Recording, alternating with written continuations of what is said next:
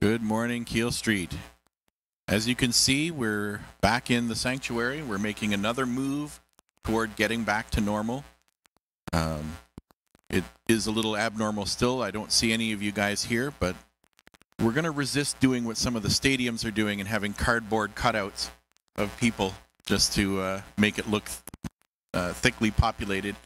Happy Mother's Day to all. We are looking forward to being back together. In the meantime, though, it's good to know that you're there. That we're still we're still a community. We're still looking after each other.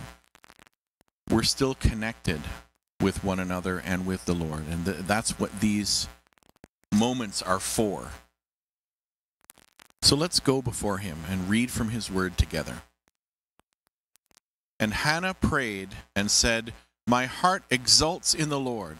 My horn is, is exalted in the Lord. My mouth derides my enemies because I rejoice in your salvation. There is none holy like the Lord, for there is none besides you. There is no rock like our God. That is the prayer of a mother, a mother desperate to become one who hadn't been able to. And she knows that it is only the Lord that can provide. So let's praise him and go before him.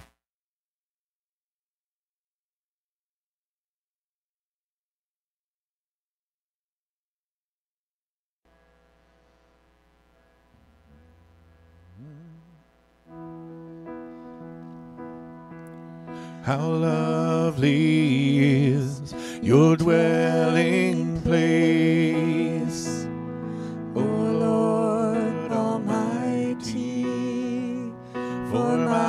soul longs and even faints for you. For here my heart is satisfied within your presence.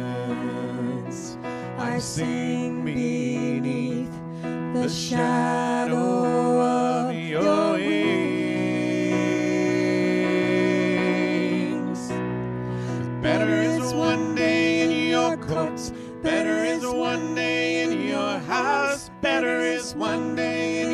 in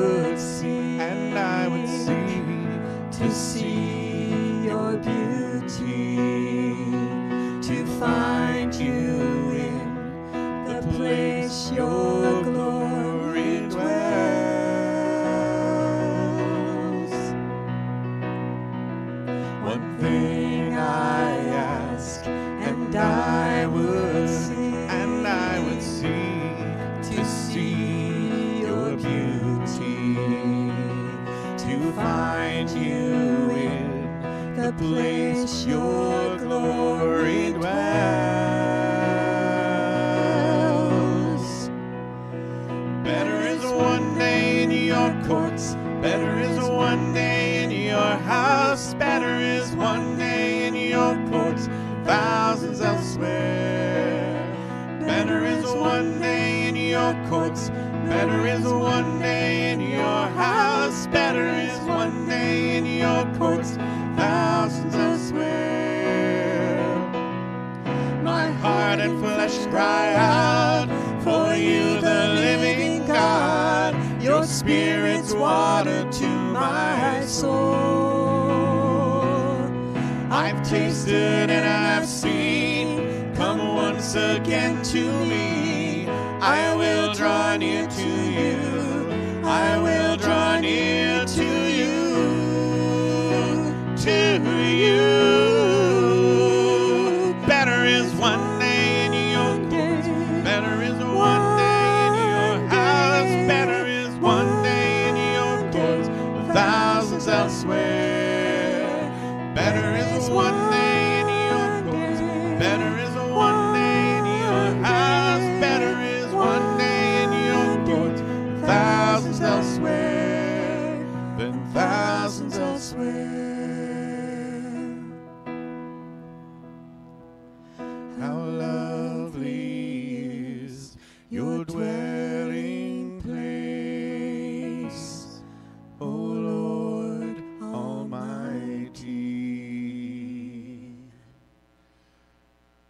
Lord, when your people built the richest, most beautiful house they'd ever seen for you, made of the finest limestone that they could find, covered with the best cedar wood that could be bought, overlaid with gold, made of all the fanciest things that people could bring. They built the house and in the opening prayer, dedicating the building to you, they said, What are we even thinking? Heaven itself can't contain you. How can a building?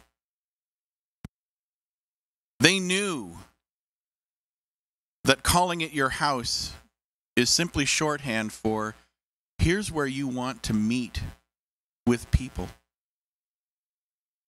But that was too small for you. Because your vision has always been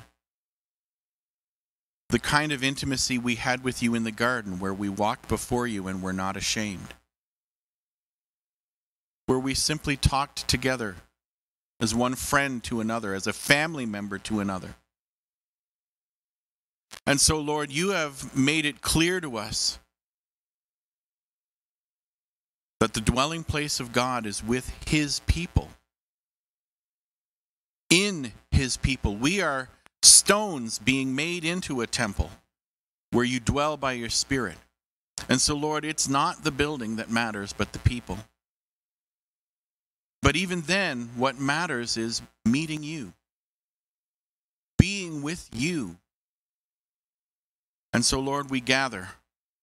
We gather together with others in as large a groups as we're allowed to be together with you, to seek your presence, to seek your face, to cry out for you as a desert cries out for rain. And Lord, your temple is beautiful. Lord, when we see people through your eyes, we get a little bit of understanding of how great your love is. You see incredible beauty. Because just as our mothers shaped and formed us inside themselves, Lord, we have come from you. And you designed each of us to be as we are, only perfect. And so, Lord, we come before you looking for that fellowship, looking for that love that, that dwarfs that of any mother. The love that persists even where a mother's love would forget. And we already know they don't. So we call out to you, Lord, to join us today, even though you're never far from any of us. In Jesus' name.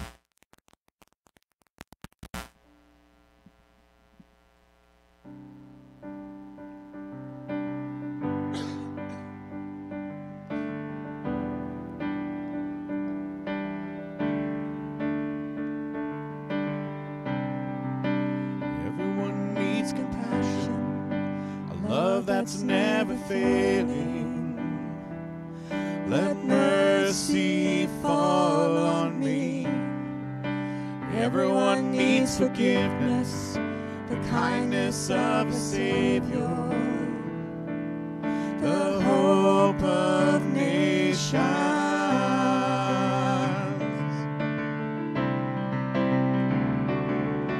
Savior, He can move the mountains. My God is mighty to save. He is mighty to save forever. Author of salvation. He rose and conquered the grave. Jesus conquered the grave.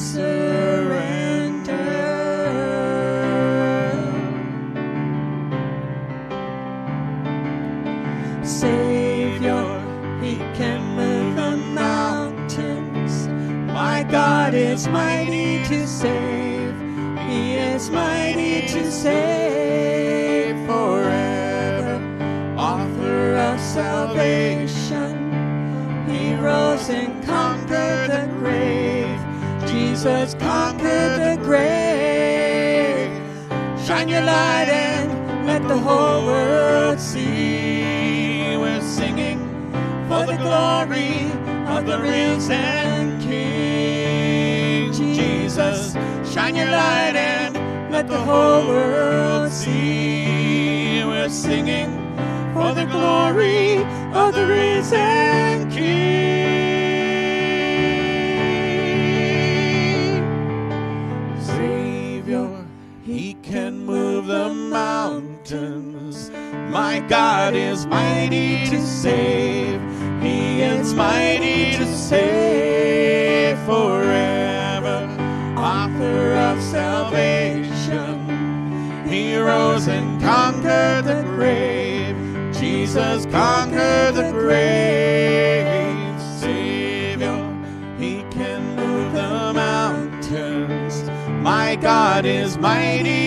save. He is mighty to save forever. Author of salvation. He rose and conquered the grave. Jesus conquered the grave.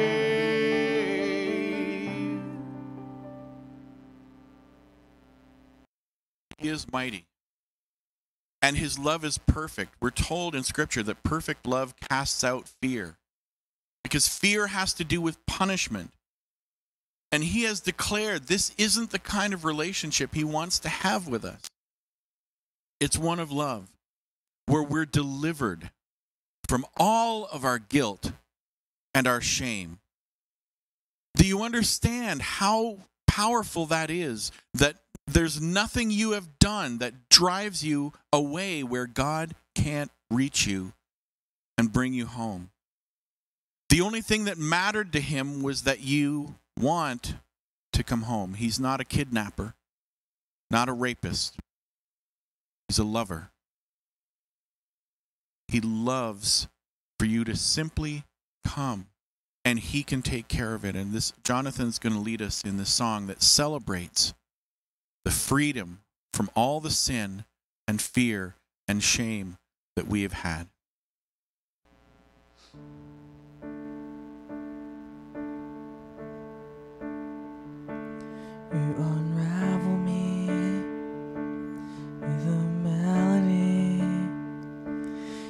Surround me with a song. Of deliverance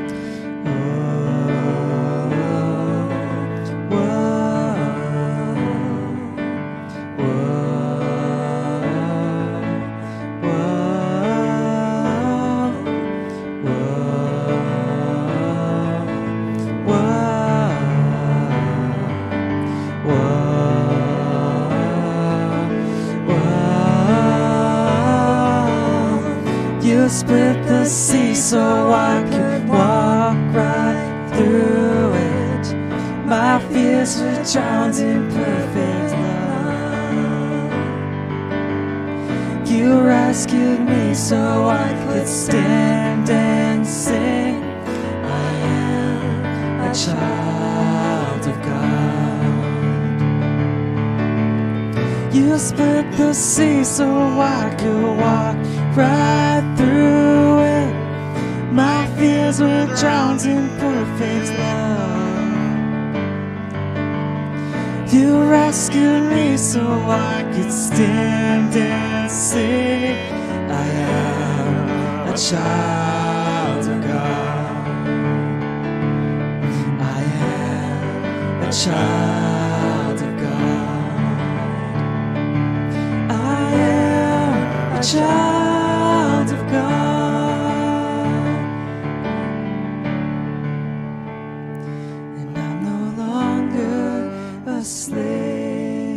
I am a child of God.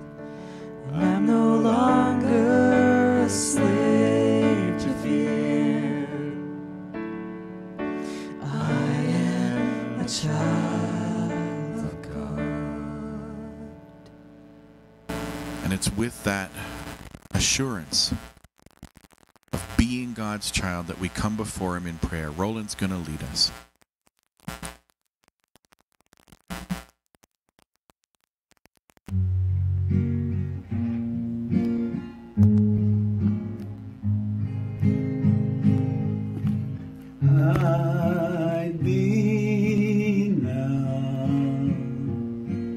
Under your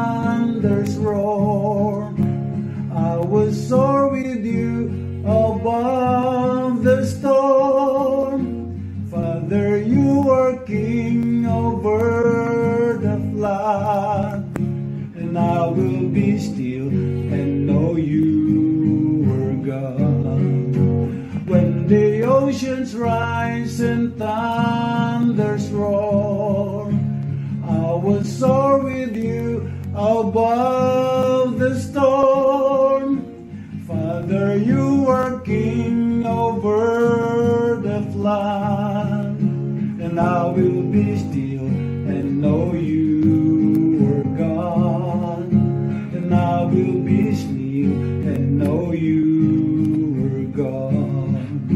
and I will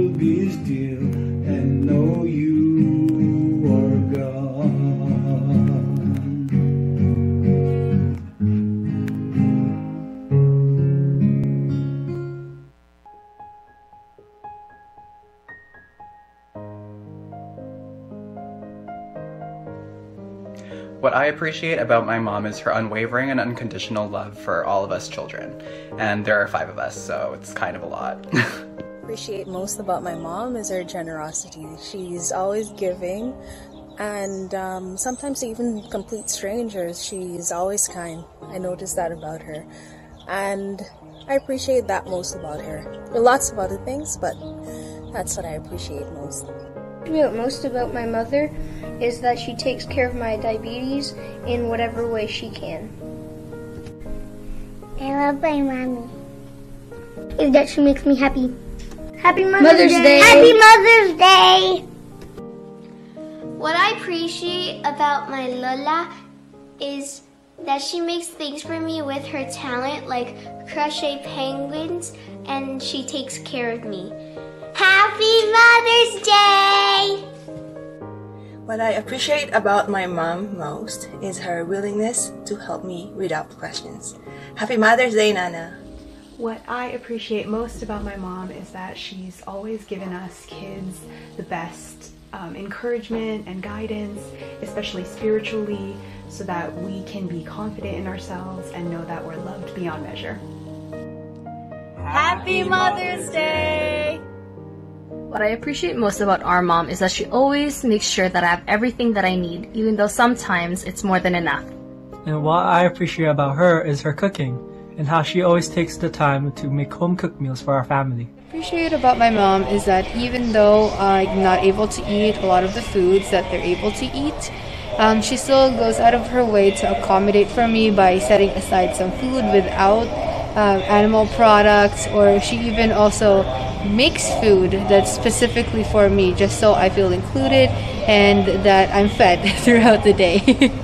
What do I appreciate most about my mom? Well, uh, she kept me.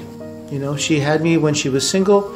She could have not had me. She could have given me up for adoption. She had the opportunity to give me away to a family member, but she kept me instead. And that made her life more complicated. It was a sacrifice on her part, uh, and I appreciate that. Being, being a parent, making sacrifices for your children, that's really what, what being a mother is all about. Happy Mother's Day.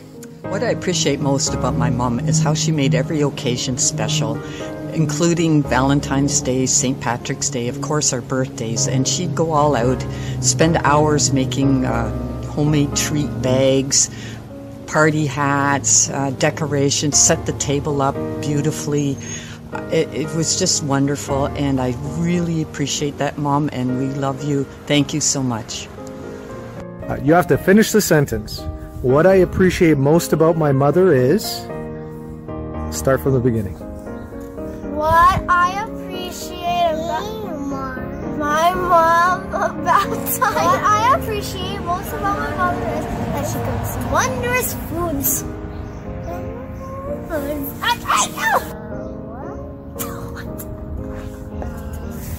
Uh, eating foods. Yeah, she because she eats foods or because she makes food for you.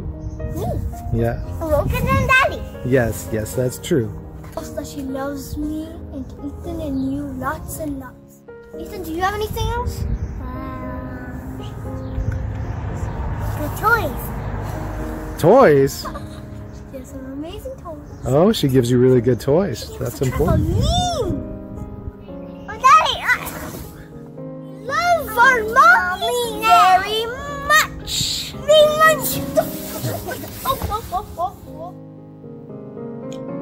Moms are brave, strong and wise. Strength from within is what keeps her alive.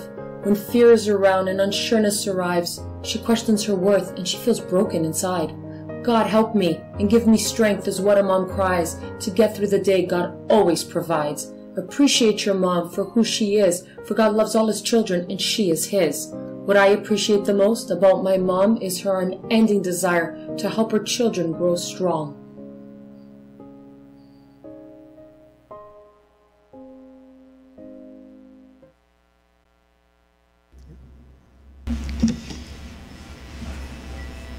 Happy Mother's Day, everyone. I have a confession to make. I, I, don't like preaching on Mother's Day. The closing hymn is No one can stop me if I just want to go now, you know. Don't, don't get me wrong, I, am not against mothers, and I, I'm not against Mother's Day. I know there's been rumors flying around, but, but they aren't true. Motherhood is a good thing. I'm in favor of having mothers. I like mothers so much, I even had one of my own. Okay, then, but, but why is preaching on Mother's Day so challenging? Well, first of all, I don't like to preach just to, to part of an audience or part of a congregation. And unless something has changed dramatically during the shelter in, at home order, I assume not everyone watching today is a mother. So preparing a sermon for just mothers feels, feels a bit awkward. Another challenge accompanying preaching on Mother's Day is that Mother's Day isn't sunshine and flowers for everyone. You know, there are those who see Mother's Day as a reminder of the loss of their mothers. For some, Mother's Day reminds them of a loss of a son or a daughter. For others, Mother's Day reminds them of the inability to have children or the failure of their marriage. Then there are those who, who are reminded of their singleness and their desire to have a family. Mother's Day can also be painful reminders, again, of, of breakups, of baggage, of pain, all the things that go together with family and life. So, for those who carry them, carry with them today a little extra sadness, hearing a Mother's Day sermon hurts more than it helps. Finally, preaching on a Mother's Day sermon is challenging because we often have this image of motherhood that has to do more with greeting cards than it has to do with reality. We idealize motherhood. We emphasize our expectations of motherhood without recognizing the reality and challenges of life today. To put it another way, there's no such thing as a typical mother or a typical family. So, a sappy Hallmark greeting card sermon most likely isn't going to be appreciated, helpful, relevant, or encouraging to anyone. Jenell Williams Paris, professor of anthropology at Bethel College in St. Paul, made this comment about the state of motherhood today. She said, The fairy tale of marriage and motherhood is just that a fairy tale. Our, our culture is one of motherhood deferred due to later childbearing motherhood disrupted by divorce, motherhood lost by infant child death and miscarriage, and motherhood unachieved due to infertility and undesired singleness. Of course, our, culture also includes wonderful families with strong marriages and happy children. The point is that there is not a one size fits all journey of womanhood. And we hurt women in our churches by venerating one path over all others. There's no one size fits all journey of womanhood. But you know what? The Bible agrees with that. The Bible reveals to us all the realities of the human condition, including those realities connected to motherhood. If you look at, at, mothers in the Bible, you won't find an idealized dream mother anywhere. Instead, you'll find real people with real lives and real problems. For example, Ruth was left childless and widowed at a young age. Rachel, Hannah, and Sarah were infertile. Eve and Mary lost their sons under horrible circumstances. Then there's the ambitious mother of James and John climbing over all the other disciples to get her sons a prominent position at the table. And let's not forget, or let's not even try to get into the family dynamics of Rachel and Leah. You know, Scripture gives us a glimpse of people just like us. People who are flawed and struggling and searching for strength, for help, for meaning, for love. The Bible records stories of, of women from all walks of life in every imaginable circumstance, sometimes thriving, sometimes coping, and sometimes failing. So, as I thought about motherhood this week, I wanted to accomplish two things. I, I, wanted to give proper honor to, to mothers, and I also wanted to approach Mother's Day with a topic that would not only apply to mothers, but to everyone else as well. So, to do this, I, considered Sheila. You know, as I looked at Sheila, I was amazed at, at how she copes with the busyness of life. She, like I have had, and many of you have not really had the opportunity to slow down during the COVID 19 crisis. If anything, we're both busier. And for Sheila, that means that she's remarkably busy. She continues to look after her mother, and she always has a dozen things on the go, and every day she seems pushed and pulled in every direction. Now, I'm not suggesting that mothers who have been staying at home have, have it any easier. You know, there's more cleaning and cooking and longer grocery lineups, not to mention continuing to work from home. And, and then there's the challenge of homeschooling and family refereeing. This time at home may have its wonderful moments of connection and reconnection with children and spouses. And I pray that you've taken advantage of this opportunity, both in your family relationships and in, with your relationship with Christ as well. But this has also been a time unlike any other that translates to stress and challenge and uncertainty. To put it another way, the world at present has no shortage of stressed out mothers. Of course, stressed out mothers didn't first appear on the scene with the arrival of face masks. The Bible is full of examples of stressed out mothers going all the way back to the very beginning.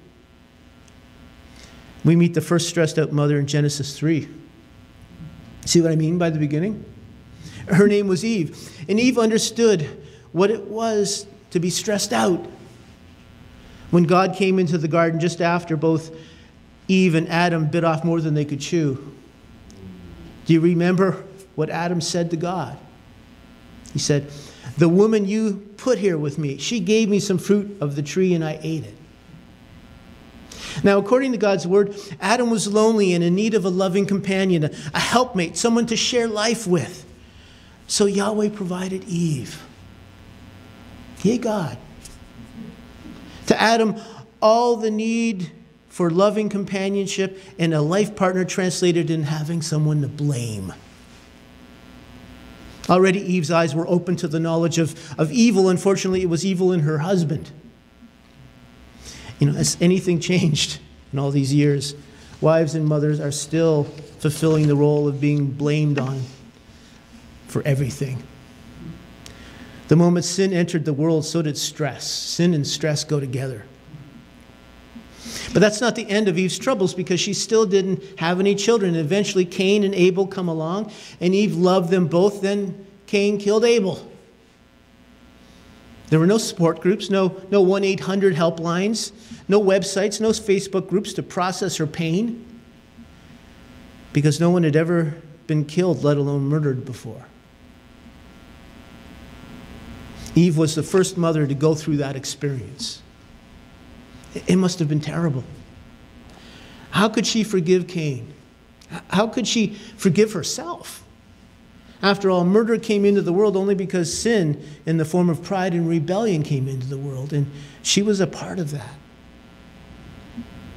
You know, from the stress of the first mother, we learn that mothers give birth to their children in an imperfect, flawed, tragic world. A world in which their children can become a victim and sometimes even a victimizer. In the second chapter of Exodus, we find another mother who's stressed out. Deep concern and anxiety was written across her face. She, she was in an impossible situation. The children of her people were being killed. They were being thrown into the Nile by a cruel and oppressive government. We're talking about ethnic cleansing. We're, talking about genocide. We're talking about a plague of human evil.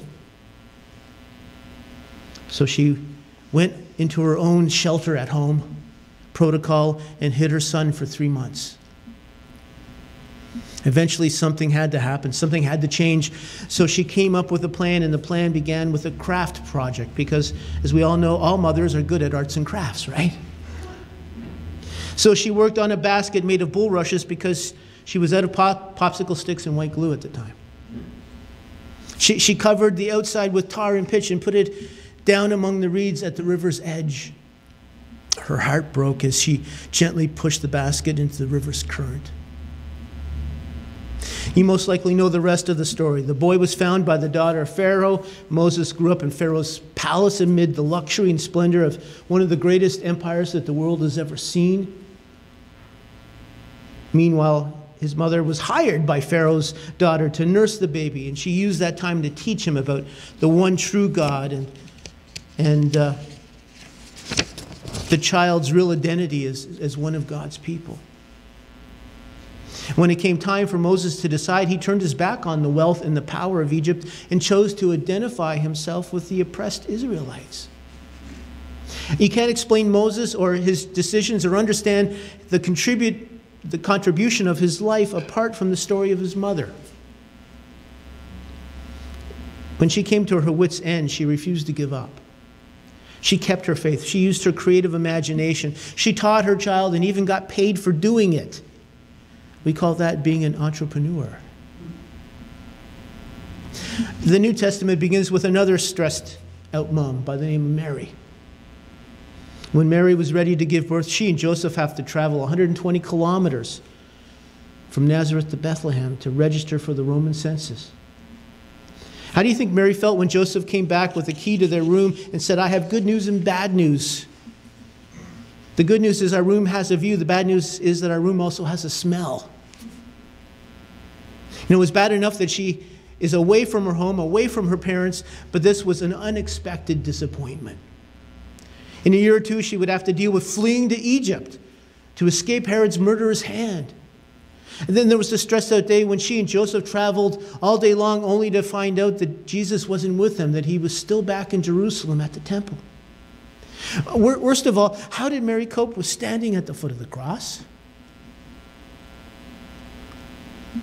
What was it like to watch your son die under such horrible circumstances?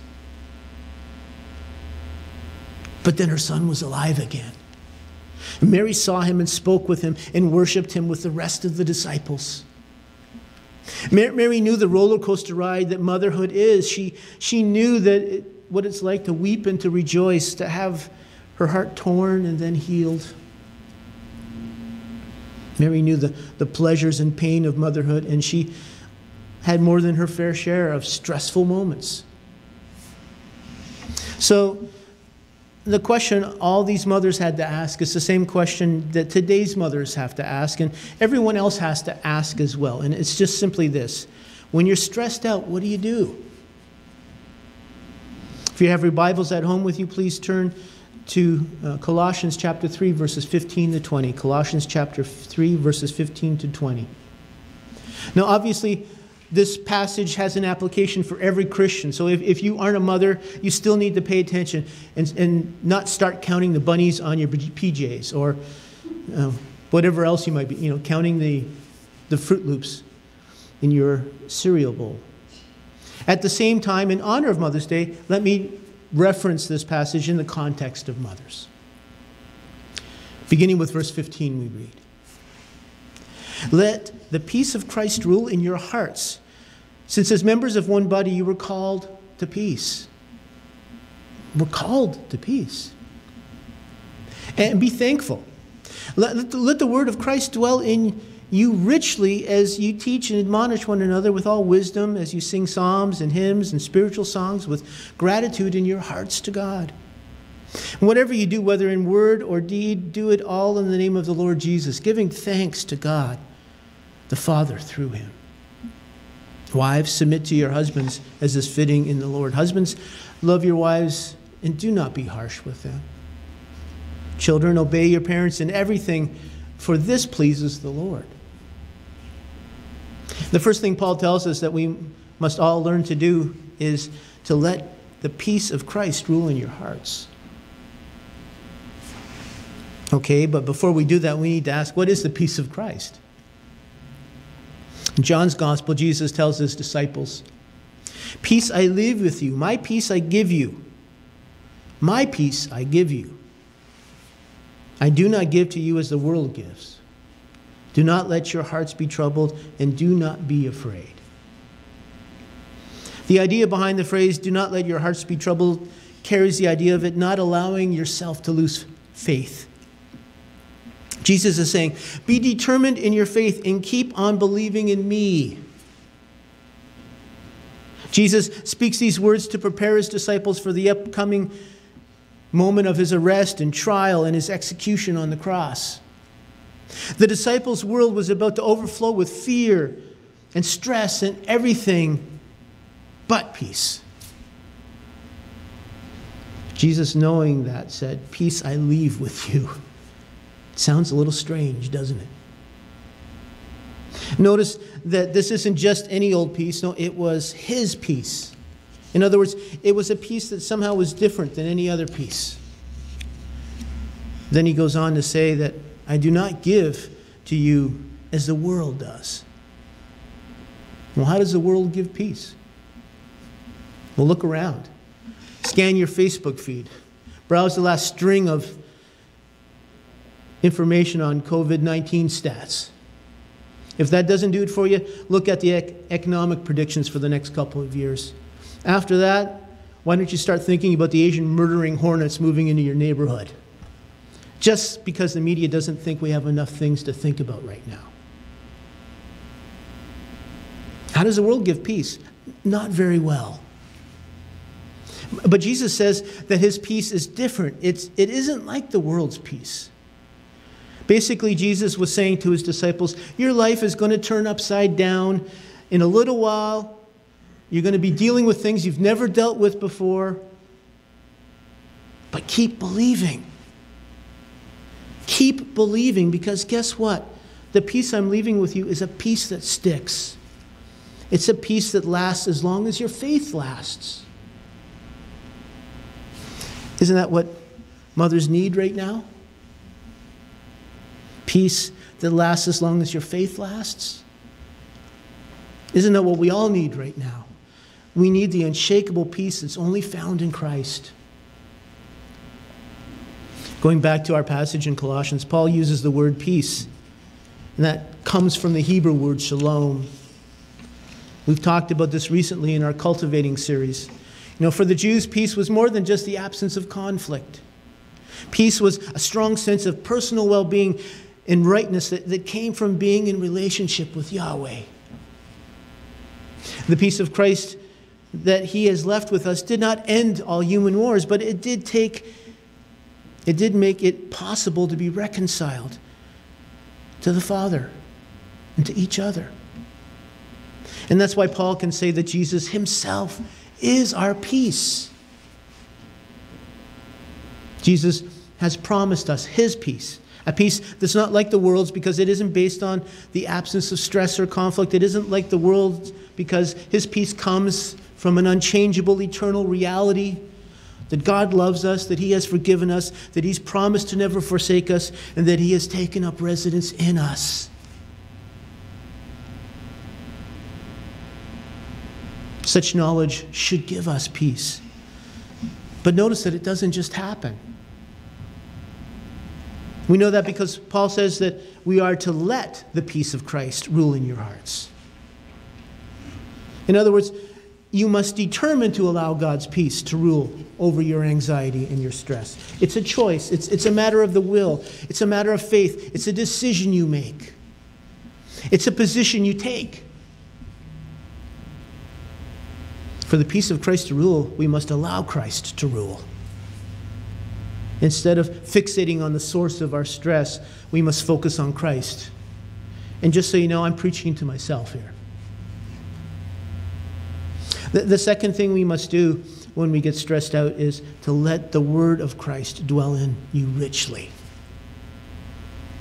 How do you let the peace of Christ rule in your hearts? By letting the word of Christ dwell in you richly. As one commentator put it, the peace of Christ rules where the word of Christ dwells. And what is the word of Christ?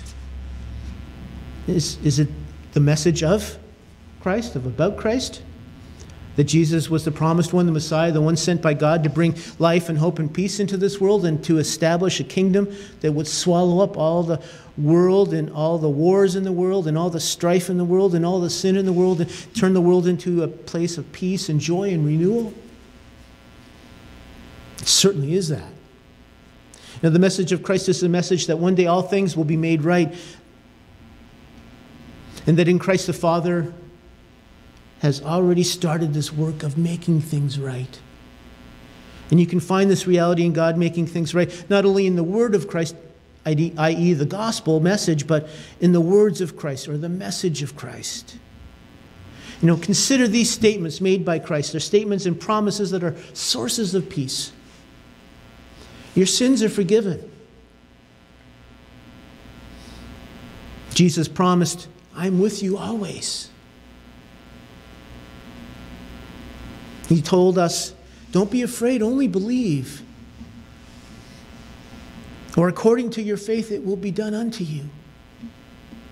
In this world you will have trouble, but take heart, I have overcome the world. And finally, come unto me, all you who labor and are heavy laden, and I will give you rest. The word labor suggests people exhausted from their work or journey. Heavy laden indicates people weighed down with heavy loads, too much to deal with and to handle. In the original context, Jesus was talking about the kind of exhaustion that, and the heavy loads that, that come from the religious leaders putting the heavy burdens upon their people. But the point remains the same. Jesus is gently calling us to stop doing everything on our own and instead to find rest in Him. Who needs rest? Anyone stressed needs rest. I need rest. You need rest. Rest is the best for stress, particularly when the rest is in Christ. Moving on, the third thing we need to do when we're stressed is to dedicate our lives and all that we do to Christ. You know, you need to understand that your life is incredibly important. Everything you do is important to God. Everything. You know, Paul says in verse 17, and whatever you do, whether in word or deed, do it all in the name of the Lord Jesus, giving thanks to God the Father through him. Make everything you do an act of worship, in other words. I think it's a fair statement to say that, that most of the things that mothers usually do go unnoticed.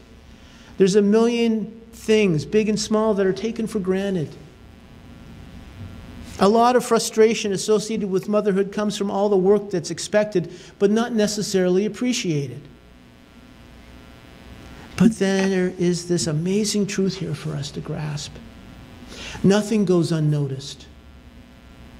God sees everything that you do, He sees it and He savors it, and He sees it as a sweet offering of praise. That is, if you do it out of love and devotion and thankfulness to Him and to your family. So let your life be an offering.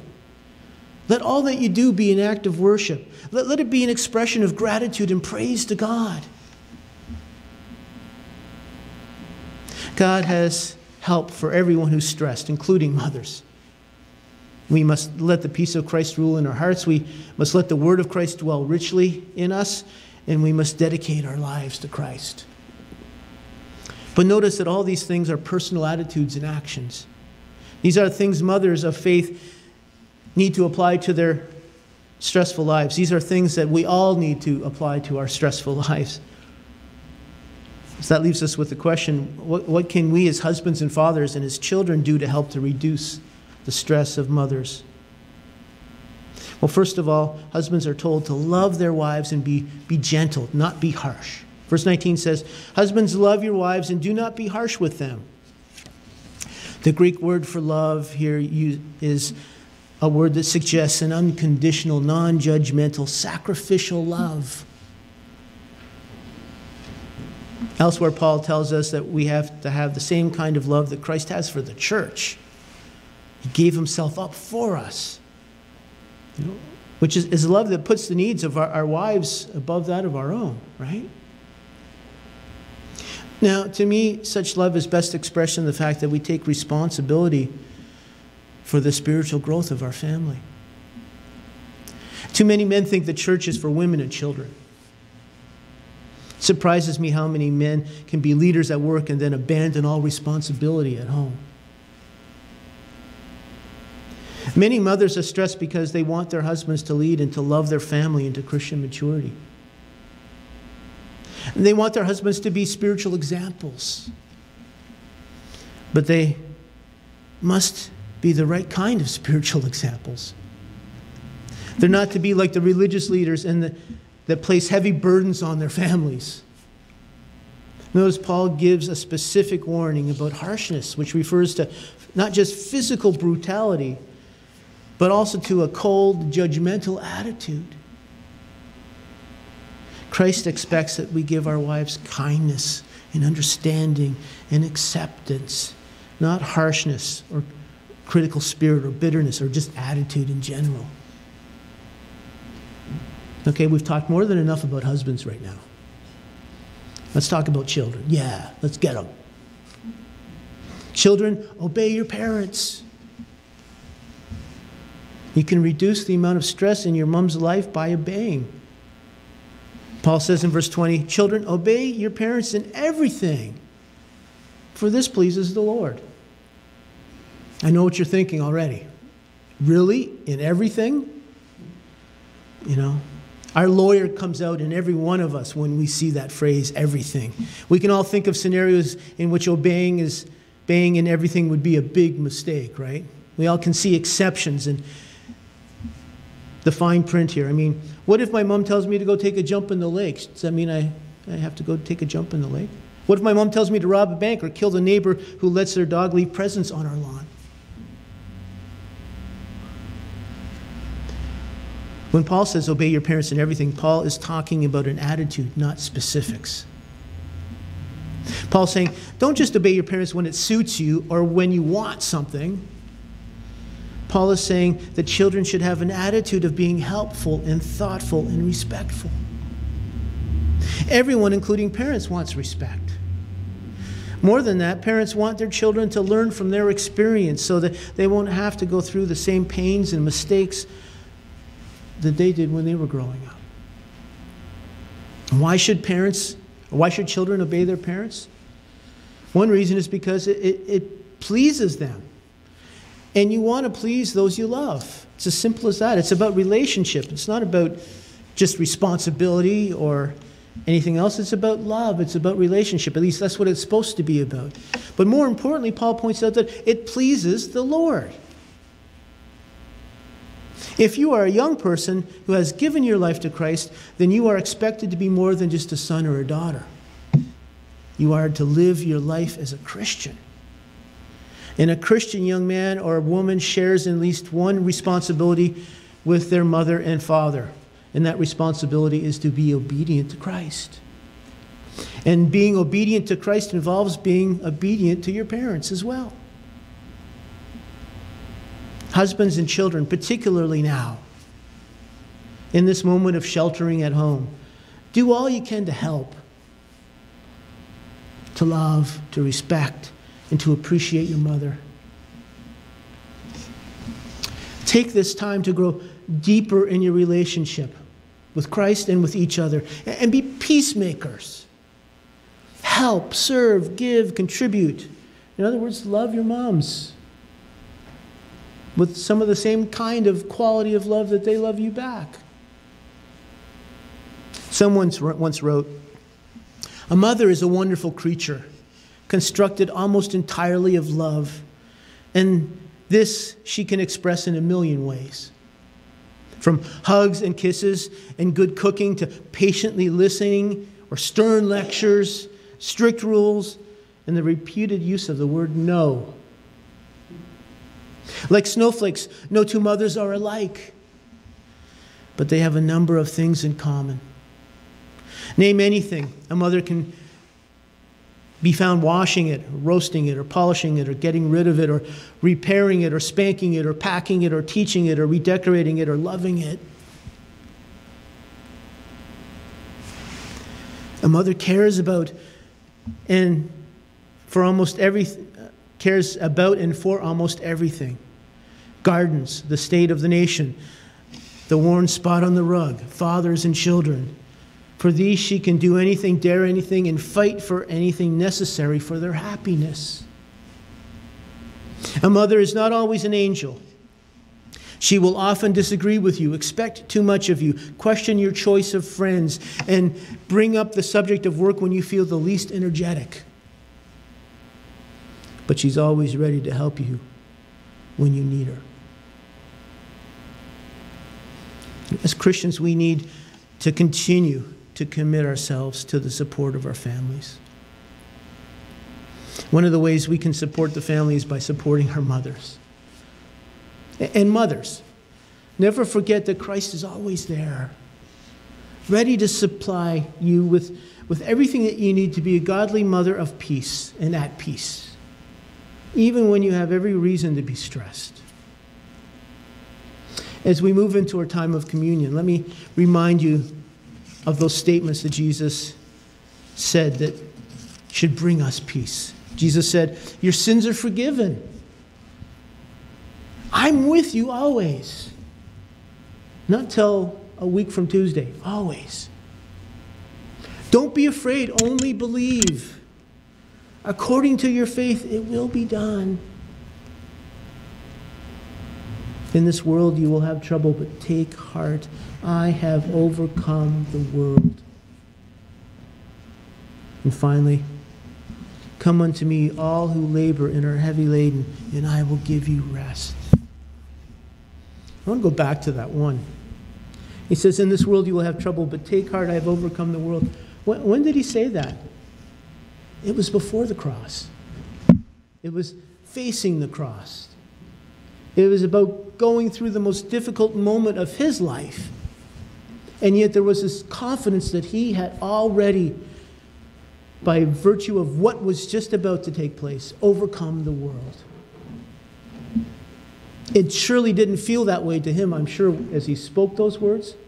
It didn't feel that way to the disciples as they went into the rest of that week and saw all the things that unfolded that rocked their world and confused them to the core of their beings. But it doesn't change the fact that he had already overcome the world. And we in him have already overcome the world. And we come to the table recognizing we don't come or overcome in our own strength. We don't get peace in our own strength. The table is a place to find peace. It's, it's a place to find rest. It's a place that we all come to confess our sins. It's a place where we claim by faith the peace of Christ. So leave your stress, leave your tiredness, leave your sins, leave your anger, leave your fear, and cling to the peace of Christ by clinging on to Christ.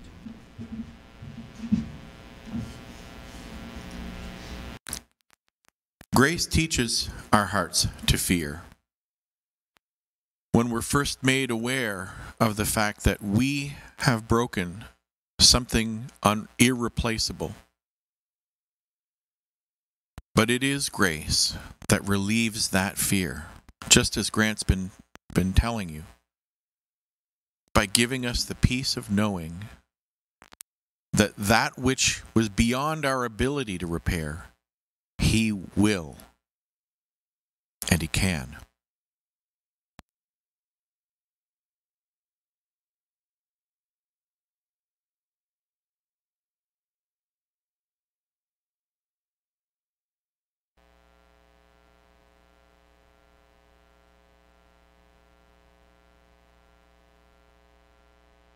How sweet the sound that saved a wretch like me.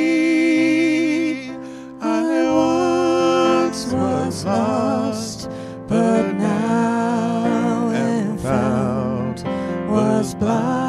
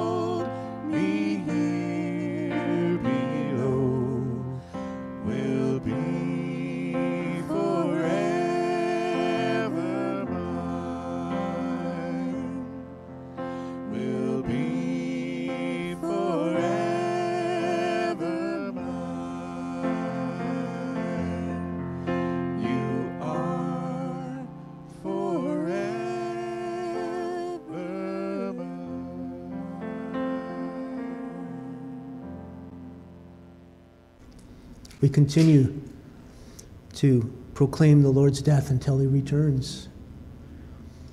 It's an act of faith, it's a promise of hope, it's a place of peace. May his peace be with you this week, mothers. May his peace be with you, fathers. May his peace be with you, people. Your peace, Lord God, help us to hold on to it, help us to attain it, help us to, to make it our choice to focus on the peace instead of the panic. God bless everyone.